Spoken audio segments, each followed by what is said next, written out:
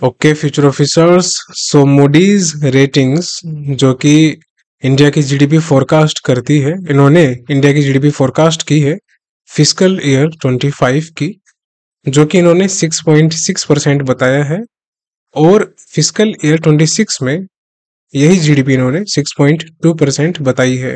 ये दोनों काफ़ी इंपॉर्टेंट है एग्ज़ाम के पॉइंट ऑफ़ व्यू से इसको याद कर लेना। और साथ ही साथ में इसने एस्टिमेट किया है कि जो loans N B F C provide करेंगे नॉन बैंकिंग फाइनेंशियल कंपनीज़ वो इंक्रीज होंगे ग्रो करेंगे 15 परसेंट से नेक्स्ट 12 टू 18 मंथ्स में। ये भी इंपॉर्टेंट है एग्ज़ाम में पूछ सकता है।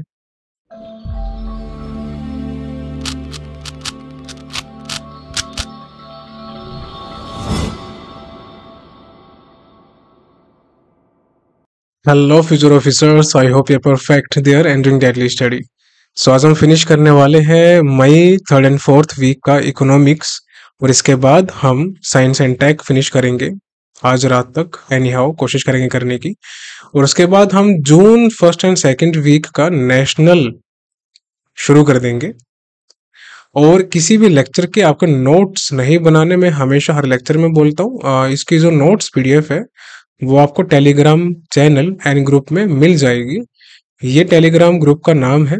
At the rate right approach underscore score banking ये जो बीच में दिख रहा है आपको नीचे एक स्पेस ये ये अंडर स्कोर होता है, ठीक है?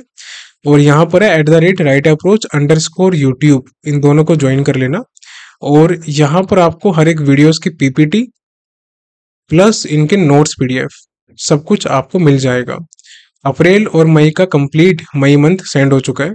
अप्रैल हमारा लगभग 55 पेजेस के अंदर फिनिश हुआ है और मई मंथ हमारा मात्र 42 पेजेस में फिनिश हो चुका है। और ये जो सारे नोट्स पीडीएफ है ना ये बहुत इंपॉर्टेंट है। यानी कि अगर आपने इतना भी कर लिया तो आपके एग्ज़ाम एक, आपके मार्क्स एग्ज़ाम में टॉपर्स में आएँगे इतनी गारंटी है। कंडीशन है एट टू टेन टाइम्स आपको रिविजन करना है मैंडेटरी है। बाकी जो बच्चे ग्रुप में हैं, उनसे आप डिस्कस कर सकते हो। तो विदाउट एनी फर्दर डिले हम शुरू करते हैं आज का अपना लेक्चर अब यहाँ पर पहली न्यूज़ शुरू होती है। इंडिया का जो मार्केट कैपिटलाइजेशन है, ये टर्म याद रखो मार्केट कैपिटलाइजेशन वो जीडीपी रेशियो के मुकाबले 140 परसेंट इंक्रीज हुआ है, जो कि 15 साल में हाईएस्ट है। कितने साल में? 15 साल में। मार्केट कैपिटलाइजेशन होता क्या है? जैसे मान लो कि कोई भी कंपनी है, उस कंपनी के जो शेयर प्राइस है, उसकी पर शेयर की जो वैल्यू है, वो फिफ्टी रुपीज़ है। मल्टीप्लाई बाय उसके जो टोटल शेयर्स है, जो कि मार्केट में है, वो मान लेते हैं हम 500 है, ठीक है? टोटल शेयर की क्वांटिटी तो ये मल्टीप्लाई होगा। फिर जो इनका आंसर आएगा ट्वेंटी फाइव ये ट्वेंटी फाइव थाउज़ेंड ये है इस कंपनी की टोटल मार्केट कैपिटलाइजेशन तो ये आपको याद रखना है टोटल मार्केट कैपिटलाइजेशन ठीक है? इस तरीके से पूरा निकाला गया है कंपनीज़ का और वो हम बात करते हैं अब डिटेल में। तो बॉम्बे स्टॉक एक्सचेंज बीएससी जो कि एशिया की सबसे पहली स्टॉक एक्सचेंज कंपनी है एज वेल एज ये 1875 में स्टैब्लिश की गई थी। और यहाँ पर इन्होंने रिपोर्ट किया है, इन्होंने बताया है कि जो इंडिया का मार्केट कैपिटलाइजेशन है टू जीडीपी यानी कि ग्रोस डोमेस्टिक प्रोडक्ट वो कितना हुआ है इंक्रीज वो 140 परसेंट से इंक्रीज हुआ है, जो कि 15 साल में हाईएस्ट है। अब आपसे एग्ज़ाम में ये पूछ सकता है कि अकॉर्डिंग टू बीएससी इंडिया का जो मार्केट कैपिटलाइजेशन है टू जीडीपी रेशियो वो कितने परसेंट से इंक्रीज हुआ है और कितने सालों में? तो 140 परसेंट याद रखना है आपको और 15 इयर्स ये भी याद रखना है आपको।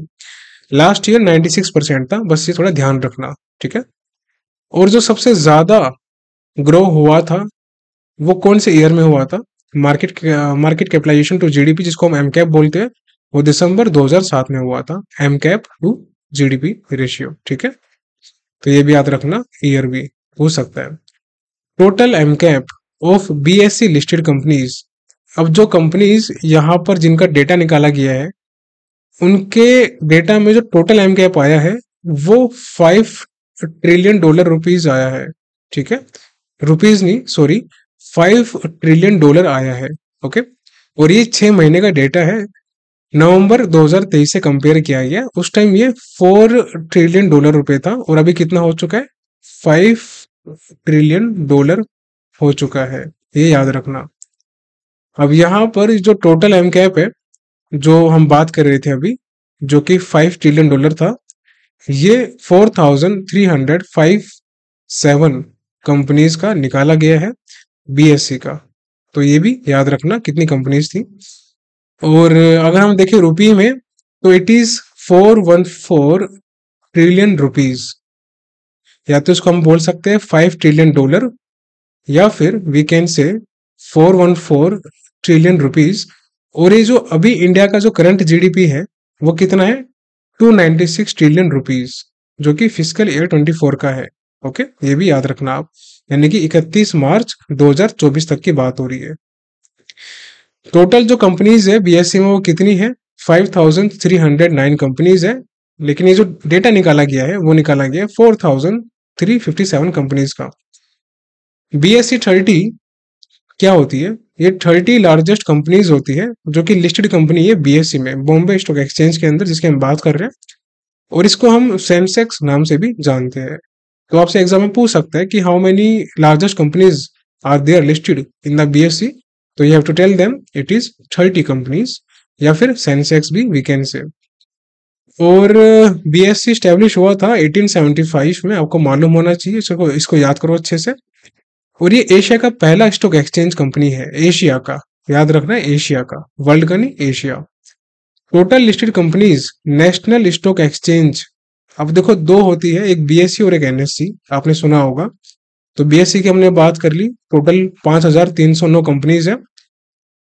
और एनएससी में टोटल दो हज़ार तीन सौ नवासी कंपनीज़ है seven nine two thousand three seven nine right अब यहाँ पर हम चलते हैं अगली स्लाइड पे। अब जैसे हमारा बी एस सी थर्टी था ना बॉम्बे स्टॉक एक्सचेंज में थर्टी जो लार्जेस्ट कंपनीज़ थी, उसको हम बी एस सी थर्टी या फिर सेंसेक्स बोलते हैं। ऐसे ही जो हमारा नेशनल स्टॉक एक्सचेंज है, उसमें हम निफ्टी फिफ्टी बोलते हैं। जो पचास लार्जेस्ट कंपनी है, उसको हम बोलते हैं निफ्टी फिफ्टी एनएससी में। ठीक है, ये भी याद रखना कंफ्यूज मत होना। अब बीएससी फाउंड हुआ था 1875 में, और एनएससी कब फाउंड हुआ था? 1992 में, बहुत ज़्यादा लेट ठीक है? और जो एनएससी का ऑपरेशन था, ये अप्रैल 1993 में शुरू हुआ था। तो ये भी याद रखना स्टेब्लिश हुआ था 1992 में, बना था, लेकिन ऑपरेशन यानी कि संचालन इसका 1993 में हुआ था, अप्रैल 1993 में एनएससी का। The 15 year high growth of 140 percent जिसकी हम बात कर रहे थे, वो इसलिए हुई है क्योंकि 61 परसेंट इंक्रीज हुआ है in market capitalisation of all companies since the end of 2023 तो आपसे ये पूछ सकता है कि मार्च 2023 के कंपैरिजन में मार्च 2024 तक कितना परसेंट इंक्रीज हुआ है M cap of all companies में? तो वो हुआ है 61 परसेंट इसको भूलना मत, बहुत इंपॉर्टेंट है ये। 140 परसेंट टोटल वैल्यू है एम कैप की। लेकिन अगर बात की जाए कंपेरेटिवली कि कितना एक साल में इंक्रीज हुआ गया तो वो 61 परसेंट था। आपने देखा होगा पहले 96 परसेंट था, हमने बात की थी। फिर 41 परसेंट इंक्रीज हुआ है। तो यहाँ कितने का डिफरेंस है? यहाँ लगभग 44 का डिफरेंस है। राइट अब यह इसके अकॉर्डिंग निकाला गया है। बस ये आपको याद रखना है। बीएससी चेयरमैन कौन है हमारे? इनका नाम याद रखिएगा। इंपॉर्टेंट है। आपको याद होना चाहिए। श्री प्रमोद अग्रवाल जी बीएससी चेयरमैन है। बॉम्बे स्टॉक एक्सचेंज चेयरमैन और एमडी सीईओ अलग है बीएससी के। वो है एस रामामूर्ति जी। तो दोनों को याद कर लो अच्छे से। बोलना मत। नेशनल स्टॉक एक्सचेंज के एमडी सीईओ कौन है? तो आशीष कुमार चौहान जी है। कौन है? आशीष कुमार चौहान। इसको भी याद रखना है। अब आते हैं अगली न्यूज़ पे। तो क्राइसिल रेटिंग। जैसे हमारा मूडी रेटिंग है, इसी तरीके से एक क्राइसिल रेटिंग भी है, जो कि एग्ज़ाम में कई बार पूछ लेते हैं इंपॉर्टेंट है। इनके मुताबिक जो बैंक की क्रेडिट ग्रोथ है, क्रेडिट क्या होता है? जब हम लोन वगैरह देते हैं ना, उसको हम कहते हैं क्रेडिट। वो एक्सपेक्ट किया जा रहा है कि मॉडरेट होगी, यानी कि वो डिक्लाइन हो जाएगी दो परसेंट से कितनी? 14 परसेंट पे। पहले कितनी थी? 16 परसेंट थी फ़िज़िकल ईयर 2024 में, यानी कि 31 मार्च 2024 तक 16 परसेंट था बैंक क्रेडिट ग्रोथ लेकिन फ़िज़िकल ईयर 2025 में 200 बेसिस पॉइंट याद रखना 100 बेसिस पॉइंट की वैल्यू जो होती है, वो वन परसेंट होती है। टेन बेसिस पॉइंट की वैल्यू कितनी होती है? पॉइंट वन परसेंट होती है और वन बेसिस पॉइंट की वैल्यू होती है zero point zero one percent ये भूलना मत। तो टू हंड्रेड बेसिस पॉइंट से डिक्रीज हो गए यानी कि टू परसेंट से डिक्रीज होके, ये फोर्टीन परसेंट आ जाएगी फ़िज़िकल ईयर 2025 में। ऐसा कहना है क्राइसिल रेटिंग का। किसके लिए? बैंक क्रेडिट ग्रोथ या बैंक लैंडिंग ग्रोथ भी हम बोल सकते हैं। लैंडिंग मतलब पैसा देना, उधार देना। क्राइसिल रेटिंग के एमडी कौन है? इंपॉर्टेंट है, इनको याद करो। गुरप्रीत शटवाल जी है। तो गुरप्रीत शटवाल जी हमारे एमडी है क्राइसिल रेटिंग्स के। भूलना मत इनको। ओके उसके बाद हम चलते हैं आगे अगली न्यूज़ पे। अब यहाँ पर अगली न्यूज़ में देखते क्या बता रहे हैं। अब ये बात हो रही है मूडी की। हमने अभी बात की थी क्राइसिल की, जिसमें उसने बताया था कि बैंक की जो क्रेडिट ग्रोथ है बैंक क्रेडिट, यानी कि लोन। लोन बोल लो या फिर लैंडिंग बोल लो, बात एक ही है। आपसे इंटरव्यू में पूछ सकता है कि बैंक किस किस से पैसा कमाता है तो आपको वहाँ पर बताना पड़ेगा कि लोन से लैंडिंग से, फिर क्रेडिट से तीनों एक ही बात है, इनसे बैंक पैसा कमाता है। तो मोडीज ने बोला है कि जो इंडिया की इकोनॉमी है, वो 2025 में 6.6 परसेंट रहेगी। इसको हम डिटेल में देख लेते क्या है। सो मोडीज रेटिंग ने एस्टिमेट किया है कि इंडिया की जो जीडीपी है फ़िज़िकल ईयर 25 में, कब से कब तक? 1 अप्रैल 2024 से लेकर 31 मार्च 2025 ये आपको याद रखना है, ठीक है? तो इसमें जो जीडीपी ग्रोथ है इंडिया की, वो कितनी रहने वाली है? 6.6 परसेंट रहने वाली है 25 में। और 26 के अंदर ये चार से पॉइंट फोर से डिक्रीज होके 6.2 परसेंट आ जाएगी। ये दोनों आपको याद होनी चाहिए, बहुत ज़्यादा इंपॉर्टेंट है। अगर मैं एग्जामिनर होता, ये क्वेश्चन पक्का देता इकोनॉमिक्स के अंदर आपको। And it is estimated that loans provided by NBFCs अब मोडी रेटिंग का कहना है कि जो एनबीएफसीज है नॉन बैंकिंग फाइनेंशियल कंपनीज़ है, यानी कि जो बैंक नहीं होते, उनका जो लोन्स है, वो ग्रो करेगा कितने से? पंद्रह परसेंट से अगले दो सालों अगले बारह से अठारह महीनों में, यानी कि एक से डेढ़ साल के अंदर।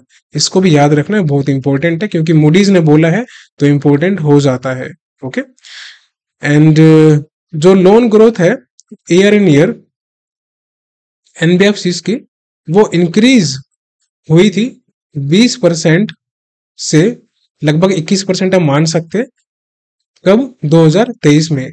अब ये ईयर सी ईयर की बात कर रहे हैं, यानी कि एक जनवरी से लेकर और 31 दिसंबर तक की बात कर रहे हैं 2023 की। इसमें जो इंक्रीज हुआ था लोन ग्रोथ का, वो 20 पॉइंट आठ परसेंट या फिर इक्कीस परसेंट भी आप रफली याद कर सकते हो। ये भी आपको याद रखना है। और ये क्यों हुआ था? क्योंकि हाउसिंग और रिटेल दुकानों वगैरह के लिए या गाड़ियों वगैरह के लिए लोन्स की डिमांड ज़्यादा आ रही थी, इसलिए ये इतना इंक्रीज हुआ था। ये भी याद रखना है। दिसंबर 2023 में, अब यहाँ पर एक इंपॉर्टेंट न्यूज़ है, इसको आप याद करो एग्ज़ाम में पूछ सकता है आपसे। आरबीआई ने रिस्क वेट रिस्क वेट क्या होता है? मान लो कोई भी अनसिक्योर्ड लोन होता है। अनसिक्योर्ड लोन में कौन कौन से आते हैं? पर्सनल लोन्स आ सकते हैं, जिसमें कोई कोलेट्रल जमा नहीं होता। कोलेट्रल क्या होता है? कोई भी चीज़ गिरवी हो, जितना आपने बैंक से लोन लिया है। जब वो चीज़ जमा नहीं होगी बैंक के पास तो वो अनसिक्योर्ड लोन में आ जाता है। अब ऐसे में आरबीआई ने देखा कि ये इनकी डिमांड बहुत ज़्यादा बढ़ रही है बैंकों में और बैंक बहुत ज़्यादा इशू कर रहे हैं। ये अनसिक्योर्ड लोन्स कस्टमर्स को तो इन चीज़ों पे रोकथाम लगाई जाए कंट्रोल किया जाए तो आरबीआई ने क्या किया रिस्क वेट को इंक्रीज कर दिया। यानी कि जितना आप लोन दोगे अनसिक्योर्ड लोन दोगे, उसमें आपको उसका रिस्क वेट रखना पड़ेगा, जो कि 25 परसेंट से बढ़ा दिया गया है। अब देखते हैं न्यूज़ क्या है। तो दिसंबर 2023 में RBI raised risk weight of unsecured retail loans जिसको हम पर्सनल लोन भी बोल सकते हैं। पच्चीस परसेंट से, कितने से? पच्चीस परसेंट से। और ये दोनों के लिए हुआ था, बैंक के लिए भी और एनबीएफसी के लिए भी। इसको याद रखना। इसका आगे है डिटेल में। अब यहाँ पर देखो। Risk weights on banks. अभी बैंक्स की बात हो रही है, ठीक है? फिर नीचे यहाँ पर एनबीएफसी की बात होगी तो कंफ्यूज मत होना। अभी हम बैंक की बात कर रहे हैं। तो risk weight on banks, unsecured personal and consumer loans, retail loans हम बोल सकते हैं। ये इंक्रीज कर दिया गया था 125 परसेंट पर 100 परसेंट से राइट ये आपको याद रखना है कि पहले 100 परसेंट था बैंक्स का अनसिक्योर्ड पर्सनल लोन्स का रिस्क वेट रखना, लेकिन अब वो 125 परसेंट रख दिया गया है बैंक के लिए। और साथ ही साथ बैंक के जो क्रेडिट कार्ड्स है, जो कि बैंक इशू करता है, वो भी, उसका भी रिस्क वेट 125 परसेंट से इंक्रीज करके डेढ़ सौ परसेंट कर दिया गया है। तो दोनों अलग चीज़ है। ये हो रही है बात क्रेडिट कार्ड की और यहाँ पर हो रही है बात अनसिक्योर्ड पर्सनल या फिर कंज्यूमर लोन्स की। दोनों अलग चीज़ें हैं। तो अनसिक्योर्ड पर्सनल या फिर कंज्यूमर लोन्स का 100 परसेंट से 125 परसेंट याद रखो बैंक्स के लिए एंड क्रेडिट कार्ड पे 125 परसेंट से 150 परसेंट। अब हम बात करते हैं एनबीएफसी की। तो जो रिस्क वेट एनबीएफसी के लिए बताया गया है अनसिक्योर्ड पर्सनल या फिर कंज्यूमर लोन्स और साथ ही साथ सेम क्रेडिट कार्ड्स के लिए वो 100 परसेंट से इंक्रीज करके 125 परसेंट कर दिया गया है। यानी कि credit card plus unsecured personal loan या फिर कंज्यूमर लोन के लिए 100 परसेंट से दोनों के लिए 125 परसेंट कर दिया गया है। ये आपको याद रखना है। भूलना मत बिल्कुल भी। अच्छा आरबीआई ने यहाँ पर एक एक्सेप्शन डाला है कि जो एनबीएफसी है ना उनको माइक्रो फाइनेंस जो छोटे छोटे लोन होते हैं ना, उनके लिए रिस्क वेट रखने की आवश्यकता नहीं है। ये याद रख लेना एग्ज़ाम में पूछ सकता है आपसे स्टेटमेंट बेस्ड क्वेश्चन के अंदर कि ऐसा है क्या? तो आपको यस या नो बताना है ओके और एक दिन आपका भी ऐसे एनबीएफसी होगा, अगर आप मम्मी से बोलते हो कि, मम्मी, एक दिन मेरा भी एनबीएफसी होगा, और मम्मी बोलती है, फिर पापा बोलते हैं, बेटा, जाके होमवर्क कर ले बनाऊ तेरा एनबीएफसी तो आप भी रिलेट कर सकते हो, इस बच्चे के इमोशन कितने ज़्यादा डिस्ट्रॉय किए जा रहे हैं। तो मूडीज रेटिंग के जो प्रेसिडेंट है, वो कौन है? माइकल वेस्ट है। नॉर्थ नहीं है ईस्ट नहीं है साउथ नहीं है, याद रखना। माइकल वेस्ट हमारे मूडीज रेटिंग के प्रेसिडेंट है।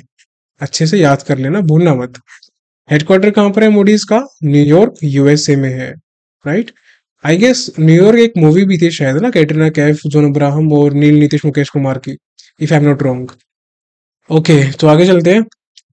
Bharat Earth Movers Limited BEML अभी इंपॉर्टेंट है दोनों न्यूज़ और नॉर्दर्न कोल कोलफील्ड्स लिमिटेड तो Bharat Bharat earth movers limited plus में नॉर्दर्न कोलफील्ड्स लिमिटेड इन दोनों का कोलेबोरेशन हुआ है, जिसमें नॉर्दर्न कोलफील्ड्स लिमिटेड प्रोवाइड करेगा 250 करोड़ रुपया किसको?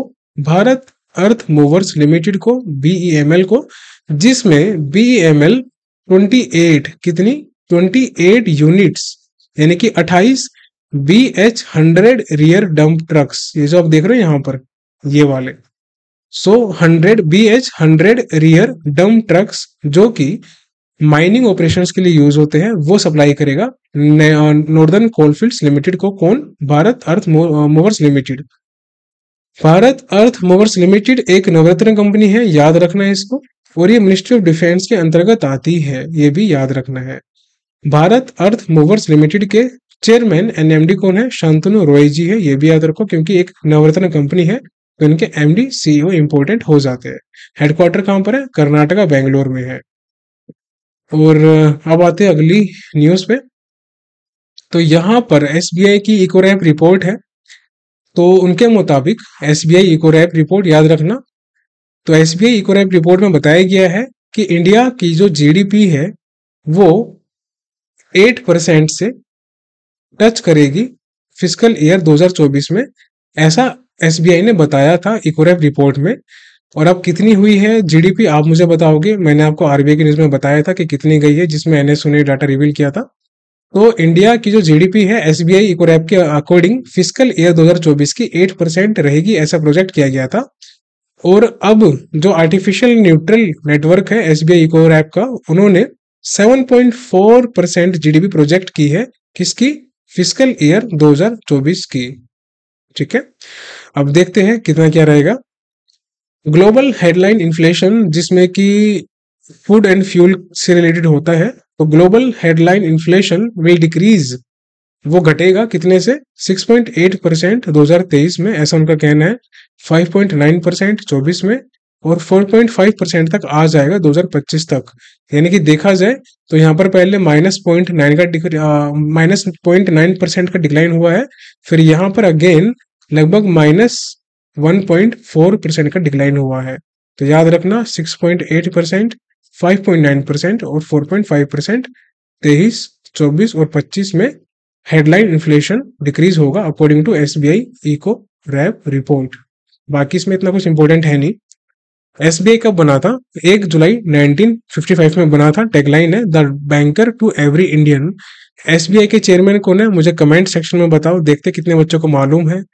मुझे लगता है काफ़ी बच्चों को मालूम होगा ऑलरेडी अच्छा ये बताओ कि एसबीआई में कितने एम होते हैं? मुझे ये बताओ आप। ये तो मैंने आपको बता ही दिया यार। चार एम होते हैं। चलो, कोई नहीं, छोड़ो इसको। आगे देखते हैं। कभी कभार ना मैं भावनाओं में बह जाता हूँ। बुरा मत मानिएगा। ओके तो रेडिसस इंडिया एक कंपनी है जो कि रिलायंस बैग्ड है, यानी कि इसको रिलायंस सपोर्ट करता है फाइनेंशियली तो रेडिसिस इंडिया का कोलेबोरेशन है नोकिया के साथ टेक महिंद्रा के साथ के नेट प्लस मोबाइल नेटवर्क्स और एक टेली के टेलीसेल मोबाइल नेटवर्क्स और टेलीसेल ये दोनों कंपनी गाना की है, ठीक है? तो Radisys India Nokia tech Mahindra के net mobile network operators and Telecel total छह कंपनियों का कोलेबोरेशन हुआ है, जिसमें एक कॉन्सोर्टियम इन्होंने बनाया है, यानी कि एक ग्रुप बनाया है साथ मिलके, और जो कि क्या करेगा? फाइव जी लॉन्च करेगा, कौन सी कंट्री में? घाना कंट्री में। याद रखना घने घने बादलों पे फाइव जी चलाइला में सेंटा क्लोज का ऐसा कहना है ओके तो ये आपको याद रखना है घाना कंपनी में। Radisys India Nokia tech Mahindra के नेट मोबाइल नेटवर्क ऑपरेटर्स और टेलीसेल ये सब मिलके 5G सर्विस लॉन्च करेंगे। अब आते हैं अगली न्यूज़ पे। सो so, अभी हमने पढ़ी थी news Bharat earth movers limited की नेशनल कोलफीड्स के साथ। अब ये न्यूज़ है भारत हैवी इलेक्ट्रिकल्स लिमिटेड इसकी लिमिटेड की। तो भारत हैवी इलेक्ट्रिकल्स लिमिटेड ने कोलेबोरेशन किया है। भाभा एटॉमिक रिसर्च सेंटर ये भी इंपॉर्टेंट न्यूज़ बन जाती है। अब इसमें क्या करेंगे? 50 किलोवाट का alkaline electrolyser system hydrogen production के लिए ये काम करेंगे इस पर और ये कमर्शियलाइज करेंगे अलग अलग सेक्टर्स के लिए, यानी कि उनको बेचेंगे, उनको प्रोवाइड करेंगे कौन कौन fertilisers steel company transportation etcetera तो 50 किलोवाट का alkaline electrolyser system for hydrogen production पे काम करेंगे। और ये जो पूरा प्रोसेस है, ये इंडिया का आत्मनिर्भर भारत अभियान और नेशनल ग्रीन हाइड्रोजन मिशन पे अचीव करने पे काम करेगा। बस इतना सा इस न्यूज़ में, बाकी कुछ इंपॉर्टेंट नहीं है। तो ये याद रखना। अब आते हैं अगली न्यूज़ पे। तो रिलायंस इंडस्ट्री का एग्रीमेंट हुआ है। एक नॉर्वे की कंपनी है नॉर्वे कंट्री है। याद रखना एग्ज़ाम में पूछ लेते कभी कभार कि ये कंपनी कौन सी है, कौन सी कंट्री की है। तो नेल ए एस ए कौन सी? N E L A S A company कहाँ की है? नॉर्वे की है। इसके साथ किसने कोलेबोरेशन किया है? रिलायंस इंडस्ट्री ने कोलेबोरेशन किया है किस चीज़ के लिए? इलेक्ट्रोलाइजर्स के लिए, जो कि हाइड्रोजन प्रोडक्शन के लिए काम में आएगी। अब देखते हैं आगे इसकी न्यूज़ क्या है। तो रिलायंस इंडस्ट्रीज़ ने कोलेबोरेशन किया है नेल हाइड्रोजन इलेक्ट्रोलाइजर्स के साथ, जो कि कंपनी नॉर्वे की है। कंट्री का नाम भूलना मत और कंपनी का नाम भी मत भूलना, दोनों कंपनी का।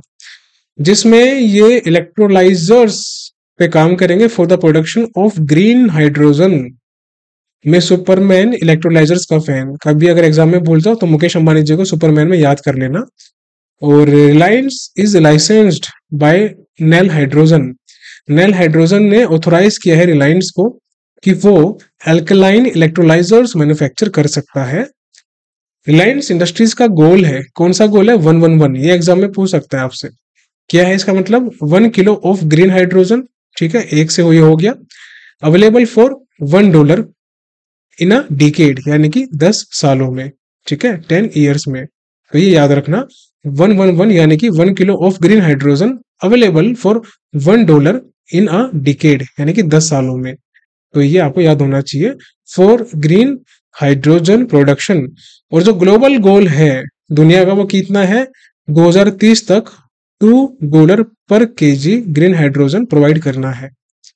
गवर्नमेंट का टारगेट है कि गवर्नमेंट को 50 गीगावाट रिन्यूएबल एनर्जी इंस्टॉल करनी है 2030 तक। ये एग्ज़ाम में पूछ सकता है इंपॉर्टेंट है, इसको भूलना मत, ठीक है?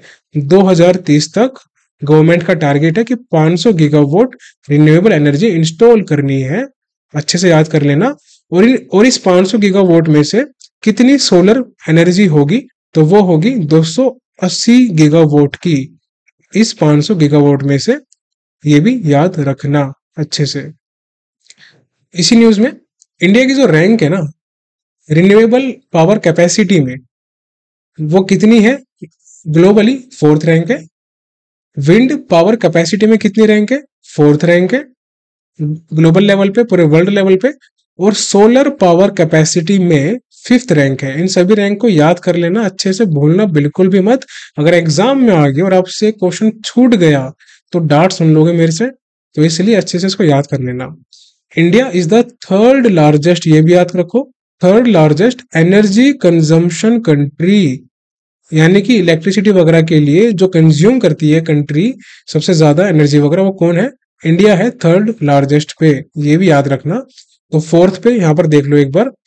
थर्ड पे हमारी होगी एनर्जी कंजम्पशन के लिए इंडिया फोर्थ पे हमारी होगी रिन्यूएबल के लिए प्लस विंड के लिए, और फिफ्थ पे हमारी होगी सोलर के लिए। इसको याद रखना okay hundred percent F D I foreign direct investment यानी कि बाहर की जो एंटिटीज है इंडिविजुअल्स है, वो रिन्यूएबल एनर्जी में इन्वेस्ट कर सकते हैं हंड्रेड परसेंट तक। गवर्नमेंट ऑफ़ इंडिया ने ऑथोराइज कर दिया गया था। इसको भी याद रखना, पूछ सकता है कि कितने परसेंट तक एफ़ अलाउड है रिन्यूएबल एनर्जी के अंदर। तो हंड्रेड परसेंट है। अब आ जाओ अगली न्यूज़ पे। तो rail India technical and economic service limited जिसको हम राइट्स बोलते हैं राइट्स ये R I G H T S वाला राइट्स नहीं है। अधिकार वाला राइट्स नहीं है।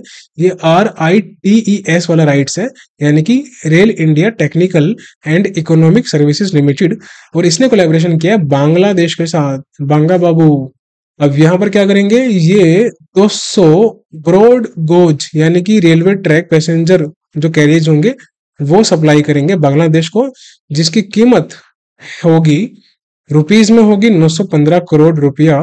और डॉलर में होगी 111 मिलियन डॉलर। इन दोनों को याद रखना, मेन तो ये है इंपॉर्टेंट 111 मिलियन डॉलर, बट इसको भी भूलना मत। 915 करोड़, कुछ नहीं पता एग्जामिनर का कौन सा दे दे दोनों में से।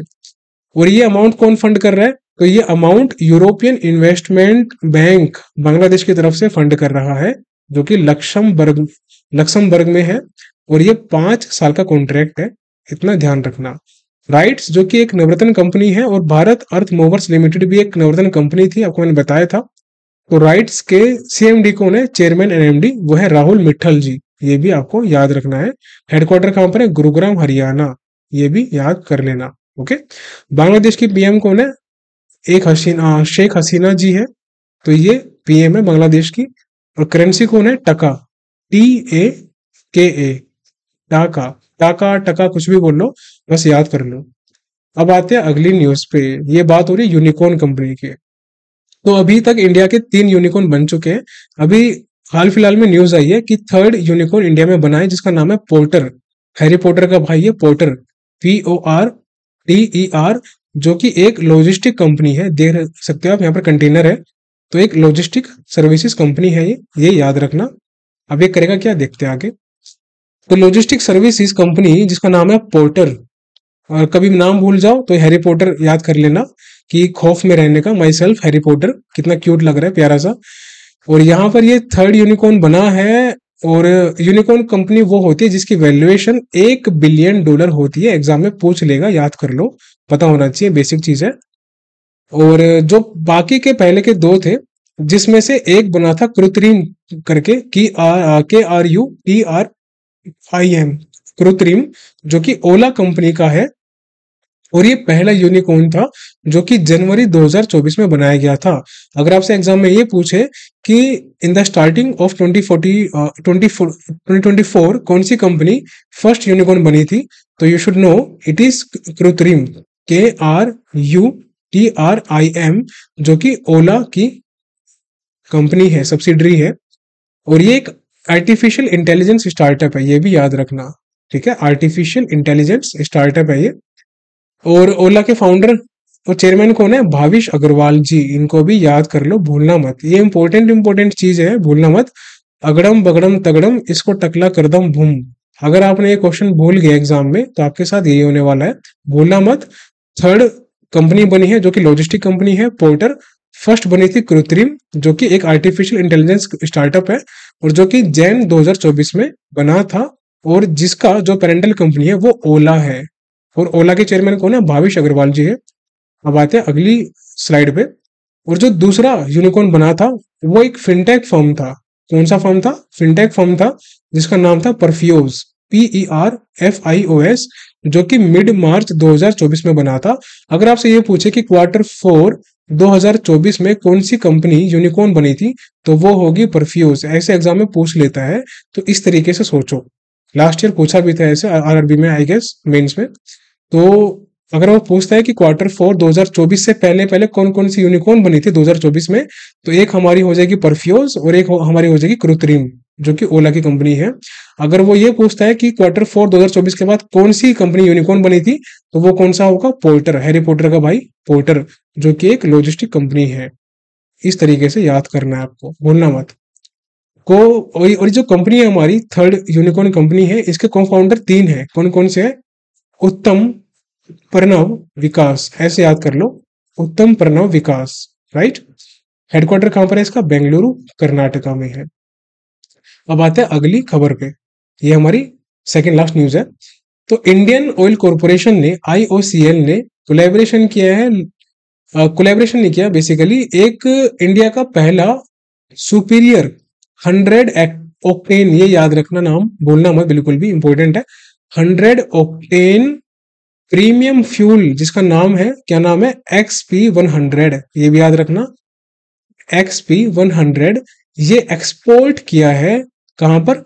लंका इंडियन ऑयल कॉरपोरेशन में, जो कि इसी की सब्सिडरी है लंका में, श्रीलंका में, और कहाँ से एक्सपोर्ट किया है?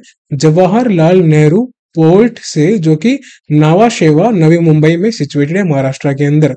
कभी भूल जाओ तो ये याद रखना कि एक्सपी हंड्रेड और पोर्ट को देख के नेहरू जी ये सोच रहे थे कि मोई नाम के पोर्ट से एक्सपी हंड्रेड फ्यूल श्रीलंका से एक्सपोर्ट किया जा रहा है। ओके ये याद रख लेना। अब आते हैं अगली न्यूज़ पे। टाटा स्टील और ईएसओ e यानी कि इलेक्ट्रिक सिस्टम ऑपरेटर जो कि कौन सी कंपनी का है? यूके बेस्ड कंपनी है National Grid PLC National Grid PLC company है यूके की, इसी की एक कंपनी है, जिसका नाम है इलेक्ट्रिक सिस्टम ऑपरेटर इसके साथ मिलकर कोलेबोरेशन करेगा टाटा स्टील जिसमें ये पावर इंफ्रास्ट्रक्चर बनाएगा, जो कि इसके पोर्ट, टेलबोट साइट को, ओके तो इसका जो पोर्ट, टेलबोट साइट है यूके का नेशनल ग्रिड पीएलसी का, इसके पोर्ट को पावर इंफ्रास्ट्रक्चर प्रोवाइड करेगा, ठीक है? ये आपको याद रखना है, जो कि स्टील प्रोजेक्ट से रिलेटेड है। खैर, ये इंपॉर्टेंट इतनी न्यूज़ है नहीं, मुझे लगता नहीं कि एग्ज़ाम में न्यूज़ आएगी वैसे बट आपको फिर भी थोड़ा बहुत ध्यान रख लेना है कि ये जो कोलेबोरेशन हुआ है, इसमें they will build power infrastructure required to switch its port telbot site to a given steel project. इस पोर्ट टेलबोर्ड साइट को एक स्टील प्रोजेक्ट के लिए बनाने के लिए ये कोलेबोरेशन किया जा रहा है। ओके okay, इतना याद रखो बाकी इसमें कुछ भी इंपॉर्टेंट नहीं है ऐसा याद करने वाला।